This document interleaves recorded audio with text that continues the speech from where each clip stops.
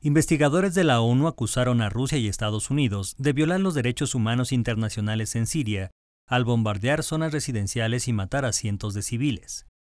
La comisión ha concluido que la coalición internacional dirigida por Estados Unidos no ha tomado las debidas precauciones para evitar o reducir la cantidad de bajas mortales o de heridos entre la población civil, lo cual significa una violación del derecho humanitario internacional.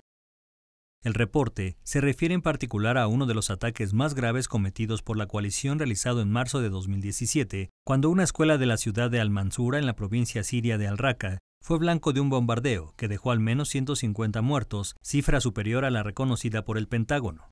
También denunciaron un ataque aéreo ruso que usó armas no guiadas contra un mercado matando a 84 personas en Atareb al oeste de Alepo.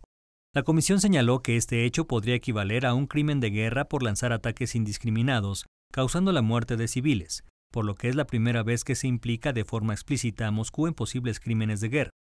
Asimismo, acusaron al régimen sirio de recurrir a agentes químicos en la región de Gota Oriental, en las afueras de Damasco, sin precisar, sin embargo, el modo de uso de las armas tóxicas.